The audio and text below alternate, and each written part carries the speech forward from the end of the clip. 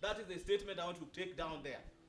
And in Migori County, we don't want to fight because you are my brother or you are my sister. Development can never come in the house which is divided.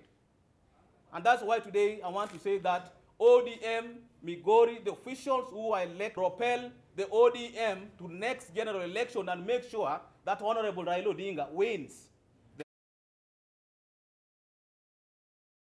With the team I have today, I'm very much grateful to be together with you.